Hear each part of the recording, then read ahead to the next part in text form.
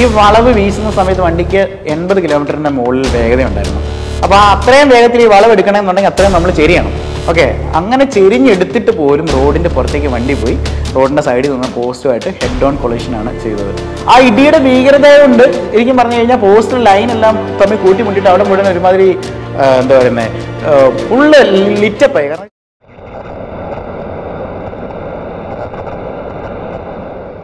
ഇനി ജീവിതത്തിൽ ഉണ്ടായ ഏറ്റവും വലിയ ഇതൊക്കെ വളരെ നിസ്സാരമായിട്ടുള്ള സംഭവങ്ങളാണെങ്കിൽ തോന്നുമായിരിക്കും ഇനി എന്റെ ജീവിതത്തിലുണ്ടായ ഏറ്റവും വേദനാജനകമായിട്ടുള്ള ഒരു ഒന്ന് രണ്ട് കാര്യങ്ങൾ ഞാൻ പറയാനായിട്ട് പോവാണ്. അതിൽ ഒരു എന്റെ ഒരു കൂട്ടുകാരനുണ്ടായ ആകസ്മികമായിട്ടുള്ളൊരു മരണം. ശരിക്കും എന്റെ ജീവിതത്തിൽ ഭയങ്കരമായിട്ട് എന്നെ തളർത്തി അതുപോലെ തന്നെ എന്നെ ബലപ്പെടുത്തുകയും ചെയ്തൊരു സംഭവമാണ്. കാരണം പത്താം ക്ലാസ് വരെ ഞങ്ങൾ ഈ ഒരു എട്ട് പേരുടെ കാര്യം പറഞ്ഞു ഞാൻ പറഞ്ഞായിരുന്നു. ഭയങ്കര ഉഴപ്പന്മാരായതുകൊണ്ട് സ്കൂളിൽ പരീക്ഷ എഴുതാനായിട്ട് പറ്റില്ല എന്ന് പറഞ്ഞ് മാറ്റി നിർത്തിയ ആൾക്കാരുണ്ട്. അവരുടെ ആരും പേര് ഞാൻ പറയുന്നില്ല. എല്ലാം പ്രഗത്ഭരായിട്ടുള്ള ആൾക്കാരാണ്. അവർക്ക് കുറേ പേര് ബുദ്ധിമുട്ടുണ്ടായിരിക്കും. പക്ഷെ എന്നാലും അതിനകത്ത് ഒന്ന് രണ്ട് സുഹൃത്തുക്കളുടെ പേര് ഞാൻ പറയാണ്. ഒന്ന് എന്റെ ഏറ്റവും അടുത്തൊരു സുഹൃത്ത് എന്ന് പറഞ്ഞാൽ മാർഷൽ എന്ന് പറഞ്ഞാണ് മാർഷലാണ്. ഇപ്പോൾ അദ്ദേഹം നല്ല രീതിയിൽ ഈ സെർവർ സപ്പോർട്ടും കാര്യങ്ങളൊക്കെ ചെയ്തുകൊണ്ടിരിക്കും നല്ല ഉന്നത നിലയിൽ വർക്ക് ചെയ്യണം. വീട്ടിലിരുന്ന് തന്നെ നല്ല രീതിയിൽ വർക്ക് ചെയ്യുന്നുണ്ട്. അതുപോലെ തന്നെ അടുത്തൊരാൾ സന്ദീപാണ് സന്ദീപും സെയിം ജോലിയാണ് ചെയ്യുന്നത്. അപ്പോൾ അതേപോലെ തന്നെ സുമേഷ് എന്ന് പറഞ്ഞുകൊണ്ട് എന്റെ ഒരു പ്രിയപ്പെട്ട ഒരു കൂട്ടുകാരനുണ്ടായിരുന്നു. അപ്പോൾ സുമേഷിന്റെ വീട് പാമ്പാടി വെള്ളൂരാണ്. അപ്പോൾ ഞങ്ങളൊക്കെ ഈ ഉഴപ്പന്മാരുടെ ഏറ്റവും തലതൊട്ടപ്പന്മാരെന്നൊക്കെ പറയുന്ന ആൾക്കാരാണ് ഞങ്ങൾ ഈ പറയുന്ന പോലെ ഈ പരീക്ഷ എഴുതാൻ മാറ്റി നിർത്തിയ ടീംസാണ് അപ്പം അപ്പം പ്ലസ് ടു കഴിഞ്ഞ് പത്താം ക്ലാസ് പഠിക്കുന്ന കൂട്ടുകാരുടെ കാര്യമേ പറയുന്നത്. പ്ലസ് ടു കഴിഞ്ഞ് ഈ പറയുന്ന നമ്മൾ ഈ ഒരു മൂന്ന് മൂന്ന് വർഷം ഞാൻ പോളിയിലും കൂടെ കഴിഞ്ഞിട്ടാണ് ഞങ്ങൾ വീണ്ടും ഒരുമിച്ച് കണ്ടുമുട്ടുന്നത്. അന്നേരം ഫോണൊക്കെ ഫെമിലിയറായി അപ്പം ഈ പത്താം ക്ലാസ് പഠിക്കുന്ന സമയത്ത് ഞങ്ങളുടെ കയ്യിൽ ആരുടെയും ഫോണൊന്നുമില്ല ഇന്നത്തെ പിള്ളേർക്കുള്ളതുപോലുള്ള ഒരു ഫോണൊന്നും നമ്മുടെ കയ്യിലില്ല അപ്പോൾ അന്ന് നമുക്ക് ഈ അഞ്ച് വർഷം എടുത്ത് ഞങ്ങളെ വീണ്ടും കൂട്ടുകാരെ ഒന്ന് കണ്ടുമുട്ടാനായിട്ട്. കാരണം ഈ ഈ ഒരു എനിക്ക് തോന്നുന്നത് ഈ ഓർക്കിട്ടും ഈ പറയുന്ന ഫേസ്ബുക്കൊക്കെ ഇപ്പോഴല്ലേ വന്നത്. അന്ന് നമുക്ക് കണക്ട് ചെയ്യാനൊന്നും ഒരു മാർഗമില്ലായിരുന്നു ഓക്കെ. കാരണം നേരിട്ട് തന്നെ പോയി കാണാമായിരുന്നു ഫോൺ പോലെ ലാൻഡ് ഫോണിന്റെ പരിപാടി ഉണ്ടായിരുന്നുള്ളൂ. അപ്പോൾ എല്ലാവരുടെയും വീട്ടിലൊന്നും ലാൻഡ് ഫോൺ ഇല്ല.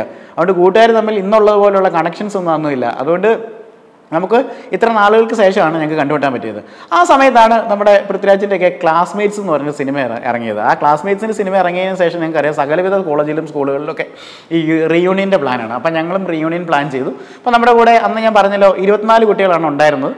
അപ്പോൾ അവരെല്ലാവരും ലോകത്തിന്റെ പല ഭാഗത്ത് നല്ല രീതിയിലൊക്കെ വർക്ക് ചെയ്യുന്നു. അപ്പം ഞങ്ങൾ അങ്ങനെ ആ ഒരു ഈ പറയുന്ന പോലെ എനിക്കത് കൃത്യമായിട്ടുള്ള വർഷം രണ്ടായിരത്തി രണ്ടായിരത്തി ഏഴിലാണെന്നാണ് ഞാൻ ഓർക്കുന്നത്.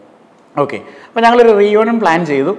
ഈ പറയുന്ന ഈ ഫോണൊക്കെ വന്ന ഈ മൊബൈൽ ഫോണൊക്കെ എല്ലാവരും സുലഭമായിട്ട് ഉപയോഗിച്ച് തുടങ്ങുന്ന ഒരു സമയമാണ്. അപ്പോൾ എല്ലാവരും ഫേസ്ബുക്കിൽ കൂടെയും അവിടെ കൂടെയൊക്കെ ബന്ധപ്പെട്ട്.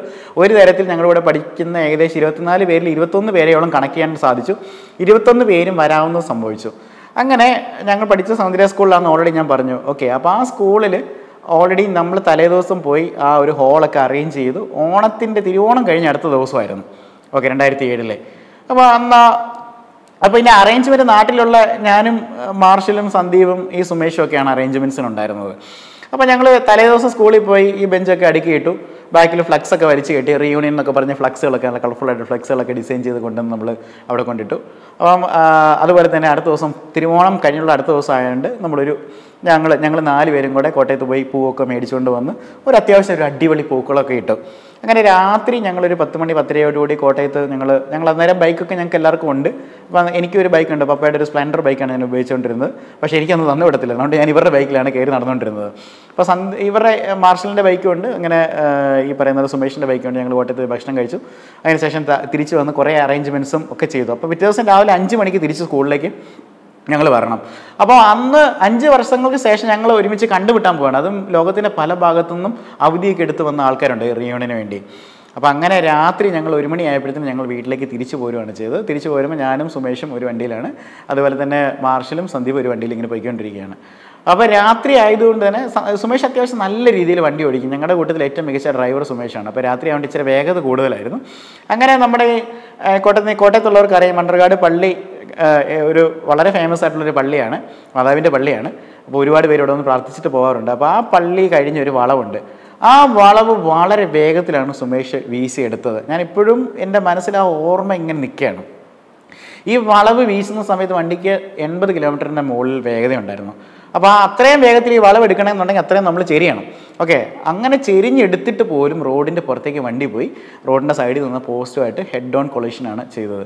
ആ ഇടിയുടെ ഭീകരത കൊണ്ട് ശരിക്കും പറഞ്ഞു കഴിഞ്ഞാൽ പോസ്റ്റിൽ ലൈനെല്ലാം തമ്മിൽ കൂട്ടിമുട്ടിയിട്ട് അവിടെ മുഴുവൻ ഒരുമാതിരി എന്താ പറയുന്നത് ഫുള്ള് ലിറ്റപ്പായി കാരണം വെച്ച് കഴിഞ്ഞാൽ മൊത്തം തീപ്പൊരിയൊക്കെ അങ്ങ് ലിറ്റപ്പായി അതുപോലെ ഭയങ്കര സൗണ്ടും ഒക്കെ കേട്ട് വെളുപ്പിനെ ഒരു ഒന്നര മണിക്കാണെന്ന് തോന്നുന്നു. ആ കേട്ടോ ഈ സൗണ്ട് കേട്ടുകൊണ്ട് തന്നെ അയൽവക്കത്തുള്ള ആൾക്കാരൊക്കെ ഇറങ്ങി ഓടി വരുന്ന വരുവാണ്. അപ്പം ഈ ആക്സിഡന്റ് സംഭവിച്ചിട്ട് ശരിക്കും പറഞ്ഞാൽ കുറച്ച് നേരത്തേക്ക് ഒരു അഞ്ച് സെക്കൻഡിലേക്ക് എനിക്ക് എന്താ സംഭവിച്ചെന്ന് തന്നെ ഓർമ്മയില്ല. ഞാൻ എന്റെ ഓർമ്മ എനിക്ക് വരുമ്പോൾ ഈ ഒരു അഞ്ച് സെക്കൻഡ് ഗ്യാപ്പേ ഉള്ളൂ. ഓർമ്മ വരുമ്പോൾ ഞാൻ റോഡ് സൈഡിൽ നിൽക്കുകയാണ്. നേരിട്ട് കാരണം വെച്ചാൽ സുമേഷ് എന്റെ ബാക്കിലാണ് ഞാൻ ഇരിക്കുന്നത്. സുമേഷാണ് വണ്ടി ഓടിക്കുന്നത്. നേരെ ഒന്ന് പോസ്റ്റിട്ട് ഇടിക്കുന്നു പിന്നെ ഒരു അഞ്ച് സെക്കൻഡത്തേക്ക് ഒന്നും മനസ്സിലാവുന്നില്ല. അഞ്ച് സെക്കൻഡ് കഴിയുമ്പോൾ എന്റെ റിലേ വരുമ്പോൾ ഞാൻ കാണുന്നത് പറഞ്ഞാൽ വണ്ടിയുടെ ലൈറ്റ് എപ്പോഴും അണഞ്ഞിട്ടില്ല. പോസ്റ്റിൽ നിന്നല്ല വണ്ടി മറിഞ്ഞിട്ടില്ല. ഇടിച്ച് രണ്ട് ഫോർക്കെല്ലാം ഒടിഞ്ഞ് മാറിയിട്ട് വണ്ടി ഈ ഒരു പോസ്റ്റിലോട്ട് കയറി നിൽക്കുകയാണ്. ആ സമയത്ത് സുമേഷ് ഈ പോസ്റ്റിലേക്ക് തല ചാരിയിരിക്കുക. ഹെൽമെറ്റൊക്കെ ഉണ്ടായിരുന്നു കേട്ടോ. പക്ഷേ ഞാൻ എനിക്ക് ബോധം വരുമ്പോൾ കാണുന്ന സുമേഷ് സ്ലിപ്പായി റോഡിന്റെ താഴോട്ട് വീഴുകയാണ് ചെയ്യുന്നത്. അപ്പം അപ്പം തൊട്ട് ബാക്കിൽ സുമേഷ് നമ്മുടെ മാർഷലും സന്ധ്യയും വരുന്നുണ്ടായിരുന്നു. അവർ അവർ കാണുന്ന രംഗം എന്ന് പറഞ്ഞാൽ വണ്ടി ഇടിച്ചിട്ട് വണ്ടിയുടെ പുറകെ പൊങ്ങി പോകുന്നതായിട്ട് അവർ കാണുന്നത്. കാരണം കൂരാ കൂരി ഇരുട്ടാണ്. ആ- സമയത്താണ് വണ്ടി ഓടുന്ന പോസ്റ്റ് ഇടിക്കുന്നത്. അവർ വന്നു. ഞങ്ങൾ എനിക്ക് എവിടെയോ അടിവയറ്റിനൊക്കെ ഭയങ്കര വേദനയാണ്. അതുപോലെ നെഞ്ചിനൊക്കെ ഭയങ്കര വേദന. കൊണ്ട് ഇടിച്ചതല്ലേ?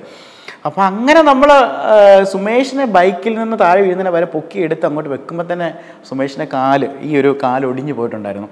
ഓക്കെ കാലിന്റെ മൊത്തം ആ ഒരു ഷേപ്പ് മാറി അന്നേരം തന്നെ നീര് കിട്ടുന്ന പോലെയൊക്കെ ആയിപ്പോയി. പിന്നെ നമ്മൾ കാണുന്നതെന്ന് പറഞ്ഞു കഴിഞ്ഞാൽ ഈ പറയുന്ന മൂക്കിൽ നിന്നും ചെവിയിൽ നിന്നൊക്കെ ബ്ലഡാണ് വന്നുകൊണ്ടിരിക്കുന്നത് പറഞ്ഞു. ഹെൽമെറ്റ് ഉണ്ടായിരുന്നെങ്കിൽ പോലും അങ്ങനെയാണ്. അങ്ങനെ വല്ലാത്തൊരു ഭീകര ഒരു അവസ്ഥയിലേക്ക് പോയി നാളെ നമ്മുടെ റീയൂണിയൻ നടക്കാൻ പോകണം. ഞങ്ങൾ പൂക്കളം വരെ ഇട്ടിട്ട് നാളെ എല്ലാവരെയും വിളിച്ച് രാവിലെ വന്ന് ഇടാനുള്ള ഡ്രസ്സും ഒക്കെ തേച്ച് രാവിലെ ഇവിടെ വന്ന് എല്ലാവരെയും കാണണം. അടുത്ത ദിവസം ഈ പരിപാടി നടത്തുന്ന ഞങ്ങളാണ്. ഞങ്ങൾ പ്രസംഗിക്കാനുള്ളവരാണ് വേദിയിൽ. പ്രസംഗം വരെ പഠിച്ചു വെച്ചിരിക്കുകയാണ്. അങ്ങനെ ഒരു അവസ്ഥയിലാണ് നമ്മൾ അവിടെ സംഭവിക്കുന്നത്. എന്ത് ചെയ്യണം എന്നറിയാൻ പാടില്ല. നമ്മൾ ശരിക്കും പറയാൻ അതൊരു ബ്ലാങ്ക് ആയിട്ട് പോകുന്ന ഒരു അവസ്ഥയാണ്. അപ്പോൾ അങ്ങനെ തൊട്ടടുത്ത് തന്നെ മണ്ണർകാട് ഈ പറയുന്ന പള്ളിയുടെ ആശുപത്രി ഉണ്ട്. അവിടെ ഈ തിരുവോണ ദിവസം ആയതുകൊണ്ട് ഒറ്റ ഡോക്ടർമാർ പോലും ഇല്ല. അങ്ങനെ അവർ ആംബുലൻസ് വിട്ടു തന്നു. ഒരു പതിനഞ്ച് മിനിറ്റും കൊണ്ട് തന്നെ മെഡിക്കൽ കോളേജിലെത്തി. മെഡിക്കൽ കോളേജിൽ എത്തുന്ന സമയത്ത് നമ്മൾ കാണേണ്ട ഒരു അവസ്ഥ എന്ന് പറഞ്ഞാൽ ഇതേപോലെ അനേകം രോഗികൾ ഈ ഹെഡ് ഇഞ്ചുറി ഒക്കെ ആയിട്ട് വന്നിരിക്കുകയാണ്. കാരണം അന്നത്തെ കാലത്ത് ഹെൽമെറ്റ് ഒന്നും അത്ര വലിയ നിർബന്ധമൊന്നും ആയിരുന്നില്ല. അപ്പം കാഷ്വാലിറ്റിയിലേക്ക് നമ്മൾ കൊണ്ടുവന്ന സമയത്ത് ഇതേപോലെ ആക്സിഡന്റ് കേസിട്ട് കാരണം അവിടെ ആംബുലൻസ് വന്നും പോയിക്കൊണ്ടിരിക്കുകയാണ്. ആ കൂടെയാണ് നമ്മളും കൂടെ ചെല്ലുന്നത്. അങ്ങനെ നമ്മൾ അവിടെ പോയി അവിടെ രാത്രി നമ്മൾ ഒരു രണ്ട് മണി രണ്ടരയ്ക്കുള്ളിൽ നമ്മൾ ആശുപത്രിയിലെത്തി. കാരണം നമ്മുടെയൊക്കെ ചെറുപ്പത്തിലുള്ള ഒരു അറിവിന്റെ കുറവ് കൊണ്ടുണ്ടായ ഒരു പ്രശ്നം കൂടെയാണെന്ന് ഞാൻ പറയാം. കാരണം ഒരു പ്രൈവറ്റ് ഹോസ്പിറ്റലിൽ കൊണ്ടുപോയി കഴിഞ്ഞാൽ നമുക്കൊരു ആക്സിഡന്റ് ആയതുകൊണ്ട് ഹോസ്പിറ്റലിൽ അവിടെ എടുക്കില്ല എന്നുള്ളൊരു ചിന്തയുള്ളതുകൊണ്ട് നമ്മൾ മെഡിക്കൽ കോളേജിലേക്ക് കൊണ്ട് അത്രയും സമയം ഡിലേ ആകാതിരിക്കാൻ വേണ്ടി. ഈ സമയം കൊണ്ട് തന്നെ സുമേഷിനെ വീട്ടിലേക്ക് വിളിച്ച് പറഞ്ഞു ഇതേപോലെ ഒരു ആക്സിഡന്റ് പറ്റി എല്ലാവരും വരണമെന്ന് പറഞ്ഞു. അങ്ങനെ മെഡിക്കൽ കോളേജ് കൊണ്ടിട്ട് മെഡിക്കൽ കോളേജിന്റെ ബെഡിൽ കിടക്കുകയാണ്. മെഡിക്കൽ കോളേജിന്റെ ബെഡിൽ കിടക്കുമ്പോൾ സുമേഷ് ഈ ഹെഡ് ഇഞ്ചറി ആണല്ലോ. ഹെഡ് ഇഞ്ചറി ആയിട്ട് വൊമിറ്റ് ചെയ്യാണ്. ഒരു മൂന്ന് ബ്ലഡ് മൂന്ന് ബെഡ് അപ്പുറമൊക്കെയാണ് ബ്ലഡ് ചെയ്യുന്ന വീഴുന്നത്. അത്രയും രീതി വൊമിറ്റ് ചെയ്യാണ്. അപ്പോൾ ഇതൊക്കെ കണ്ടിട്ട് ഞങ്ങൾ വളരെ പേടിച്ചിരിക്കുക കാരണം വെച്ചാൽ നമ്മുടെ കൂട്ടുകാരൻ അരുമയായിട്ടുള്ളൊരു കൂട്ടുകാരൻ നമ്മൾ ഇത്രയും നാൾ ഒരുമിച്ച് നടന്നവർ അതിനുശേഷം പത്താം ക്ലാസ് വരെ അങ്ങനെ നടന്നവർ അതിനുശേഷം ഒരു ഗ്യാപ്പ് ഉണ്ടായിട്ട് വീണ്ടും ശക്തമായിട്ടുള്ള റിലേഷൻ വീണ്ടും സ്ഥാപിച്ച് അടുത്ത ദിവസം പ്രോഗ്രാം നടത്താനായിട്ട് പോവാണ്. ഓക്കെ അങ്ങനെ മെഡിക്കൽ കോളേജിൽ കൊണ്ടിട്ടിട്ട് പിറ്റേ ഓണത്തിന് ദിവസമായിരുന്നു ഡോക്ടർമാർ കുറവായിരുന്നു. പിറ്റേ ദിവസം ഏഴ് മണിയായപ്പോഴാണ് ഒരു ഡോക്ടർ വന്ന് അറ്റൻഡ് ചെയ്യുന്നത്. അതുവരെ ഒരു നേഴ്സ് വന്ന് ഒരു ട്രിപ്പ് ഇടാൻ മാത്രമേ മെഡിക്കൽ കോളേജിന് കഴിഞ്ഞുള്ളൂ. അപ്പം അങ്ങനെ ട്രിപ്പ് ഇട്ട് അഹ് ഒമ്പത് മണിയായപ്പോൾ ശസ്ത്രക്രിയക്ക് കയറ്റി. ഒരു മൂന്നാലഞ്ച് മണിക്കൂർ തല ഓപ്പൺ ചെയ്യണമായിരുന്നു. അതിനിടയ്ക്ക് ഞങ്ങൾ ഇവിടെ കൊണ്ടുപോകുന്നുണ്ട്. എക്സ്റേ എടുക്കാനും സ്കാനിങ് എടുക്കാനൊക്കെ കൊണ്ടുപോകുന്നുണ്ട്. തലയ്ക്കകത്ത് മൾട്ടിപ്പിൾ ഫ്രാക്ചേഴ്സും കാര്യങ്ങളകത്തും മൂന്ന് ബ്ലഡ് ക്ലോട്ട്സ് ഒക്കെ ഉണ്ടായിരുന്നു. തല ഓപ്പൺ ചെയ്ത് സർജറി ചെയ്താൽ മാത്രമേ പറ്റുള്ളൂ. അന്നും സുമേഷിന്റെ വീട്ടിൽ അത്യാവശ്യം പേരൻസ് എനിക്ക് തോന്നുന്നു സുമേഷിന്റെ പപ്പ അന്ന് കസ്റ്റംസിൽ വർക്ക് ചെയ്യണം. അപ്പോൾ അവർക്ക് പൈസ ഒന്നും അത്ര വലിയ പ്രശ്നമായിരുന്നില്ല. പക്ഷേ നമ്മുടെ ഒരു സാഹചര്യം പറയാം. മെഡിക്കൽ കോളേജിൽ ആയതുകൊണ്ട് രാത്രി രണ്ട് മണിക്ക് വന്നിട്ട് ഏഴ് മണിക്കാണ് ആ ട്രീറ്റ്മെന്റ് എടുക്കാനായിട്ട് നമുക്ക് ഡോക്ടർ വന്ന് കാണുന്നത്. എന്നിട്ടും സർജറി പോസ്റ്റ് ചെയ്ത് ഒമ്പത് മണി എമർജൻസി ആയിട്ട് പോസ്റ്റ് ചെയ്തു. അങ്ങനെ സർജറി കഴിഞ്ഞ് പുറത്തിറങ്ങി. പുറത്തിറങ്ങി കഴിഞ്ഞപ്പം നമ്മുടെ കോട്ടയം മെഡിക്കൽ കോളേജിന്റെ കാര്യമാണ് പറയുന്നത്. അവിടെ ഐ സി യു നിറഞ്ഞിരിക്കുകയാണ്. അങ്ങനെ വാർഡിലാണ് തല ഓപ്പൺ ചെയ്ത സബ്സ്ക്രൈബ് ചെയ്ത ഒരാളെ കൊണ്ടിട്ടിരിക്കുന്നത്. എനിക്ക് ഇപ്പോഴും ഓർമ്മയുണ്ട് സുമേഷിനെ കാണുമ്പോൾ ഈ സൈഡിൽ കംപ്ലീറ്റ് ഇവിടം വരെ ഇങ്ങനെ സ്റ്റിച്ചാണ് കാരണം സ്റ്റീലിന്റെ സ്റ്റിച്ചുകൾ ഇട്ടിരിക്കുകയാണ്. എന്നിട്ട് അതൊരു പൊതിയാതെ പോലെ ഒരു വാർഡിൽ കൊണ്ട് ഒരു നമ്മുടെ ഒരു ആശുപത്രികളുടെ അവസ്ഥയാണ്. ഓക്കെ ഇന്നൊക്കെ ഒരുപാട് മാറിയിട്ടുണ്ടായിരിക്കും. പക്ഷെ അന്നുണ്ടായിരുന്ന ഒരു അവസ്ഥയാണ്. അങ്ങനെ സുമേഷിനെ അങ്ങനെ സർജറി കഴിഞ്ഞു. പക്ഷേ രണ്ടാമത്തെ ദിവസം നമ്മൾ വിചാരിച്ച് സർവേ ചെയ്യുന്നു. പക്ഷേ രണ്ടാമത്തെ ദിവസം രണ്ടാമതല്ല മൂന്നാമത്തെ ദിവസം നമ്മളെ ആശുപത്രിയിലേക്ക് പേരൻസ് വിളിച്ചു വരുത്തി. ഇപ്പോൾ നിങ്ങൾ സുമേഷിന് അത്യാവശ്യം സംസാരിക്കുമൊക്കെ റെസ്പോണ്ട് ചെയ്യുന്നുണ്ട്.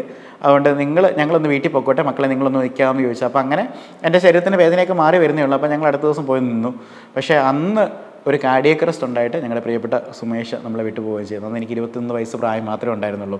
അപ്പം നിങ്ങളൊന്ന് ആലോചിച്ച് നോക്കണം.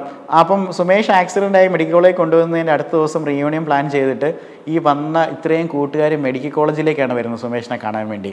അപ്പം ജീവിതത്തിലുണ്ടായ ഏറ്റവും വലിയൊരു ബുദ്ധിമുട്ടൊന്ന് ആലോചിച്ച് നോക്കി അപ്പം അങ്ങനെ ഏറ്റവും വേണ്ടപ്പെട്ട ഹൃദയത്തിനകത്ത് സൂക്ഷിക്കുന്ന ഒരു സുഹൃത്ത് നമ്മളെ വിട്ട് കടന്നു പോകുന്ന ഒരു സമയം ഉണ്ടായിട്ടുണ്ട്. അന്ന് ഞാനും മരിച്ചു പോകേണ്ടതായിരുന്നു പക്ഷേ എങ്ങനെയൊക്കെയോ സർവൈവ് ആയി എന്നുള്ളതാണ്. എങ്ങനെയാണെന്ന് എനിക്കറിയത്തില്ല. ഇപ്പോഴും ഞാൻ ആ ഒരു അഞ്ച് സെക്കൻഡ് എങ്ങനെയാണ് ആ ഒരു ജീവിതത്തിൽ നഷ്ടപ്പെട്ടു പോയ ഒരു ബ്ലാങ്ക് ആയി പോയത് ഞാൻ ഞാൻ ഓർക്കുന്നുണ്ട്. ഓർക്കുന്നില്ല. അപ്പം എനിക്കത് പറയുമ്പോൾ ഭയങ്കര ഒരു പ്രയാസമുണ്ട്. കാരണം ഇന്നും നമ്മുടെ കൂടെ എന്തിനും നമ്മുടെ ചങ്ക് കൂട്ടുകാരെന്നൊക്കെ പറയത്തില്ലേ? അങ്ങനെ ഒരു കൂട്ടുകാരൻ അപ്പം അങ്ങനെ ഒരു വലിയൊരു വേദന ജീവിതത്തിലുണ്ടായി. അതിനുശേഷം സുമേഷിന്റെ മരിച്ചടക്കിനൊക്കെ നമ്മൾ ആ വീടുകളിൽ ഫുൾ ടൈം ഉണ്ടായിരുന്നു. അവനെ കൊണ്ട് കല്ലറയിൽ വെക്കുന്ന സമയത്തും ഒക്കെ അവന്റെ പേരൻസൊക്കെ ടാറ്റ കൊടുത്ത് അകത്തേക്ക് കയറി വേണം നമ്മളൊക്കെ എന്ന് പറഞ്ഞു കഴിഞ്ഞാൽ ഇരുന്ന് ഒരു അവസ്ഥയാണ് നമ്മുടെ പ്രിയപ്പെട്ട കൂട്ടുകാരൻ നമ്മളിൽ നഷ്ടപ്പെട്ടു പോകണം അപ്പം വളരെ ചെറിയ പ്രായത്തിൽ തന്നെ വലിയൊരു ഷോക്ക് കുറേ നാളത്തേക്ക് മെന്റലി എന്നൊക്കെ നമ്മൾ ഡിസ്റ്റർബ്ഡ് ആയിരുന്നു. ഒരു രക്ഷയുമില്ല. കാരണം ഊണിലും ഉറക്കത്തിലും ഒക്കെ ഈ ഒരു ചിന്തകളും കാര്യങ്ങളൊക്കെ ആയിരുന്നു. അങ്ങനെ കുറേ നാൾ കഴിഞ്ഞിട്ടാണ് ഒന്ന് സർവൈവ് ചെയ്യാനായിട്ട് സാധിച്ചത്. അതിന്റെ ഷോക്ക് മാറുന്നതിന് മുമ്പ് തന്നെ ജീവിതത്തിൽ അടുത്ത വലിയൊരു പ്രയാസം ഉണ്ടായി എന്ന് പറഞ്ഞാൽ മൂന്ന് വയസ്സുള്ള പിള്ളേർ വളരെ പൊടി പിള്ളേർ ഈ പിള്ളേരെയൊക്കെ കീമോ ചെയ്യാനൊക്കെ അവിടെ കൊണ്ടുവരുന്ന ഒരു അവസ്ഥ ഒന്ന് ആലോചിച്ച് നോക്കുക അപ്പം നമ്മുടെ ജീവിതത്തിൽ നമുക്കുണ്ടായ നഷ്ടങ്ങൾ എന്നൊക്കെ പറഞ്ഞു കഴിഞ്ഞാൽ ചിലപ്പോൾ അവരെ കമ്പയർ ചെയ്യുമ്പോൾ വളരെ ചെറുതാണ്. ഓക്കെ അപ്പോൾ അങ്ങനെ പലതരത്തിലും ഉള്ള ബുദ്ധിമുട്ടുകളിൽ കൂടെയാണ് കടന്നു പോകുന്നത് മെഡിക്കൽ കോളേജിൽ നിന്ന് അധികം നാൾ സർവൈവ് ചെയ്തില്ല.